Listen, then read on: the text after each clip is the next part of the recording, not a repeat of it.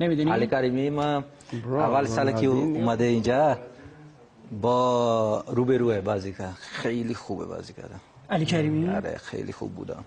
ما اول با که اومده اینجا من گفت برای دوستانم گفت این بازیکن خیلی فوق العاده خیلی تکنیکیه تکنیکی خیلی بالا. تا الان من ندیدم مثل اون.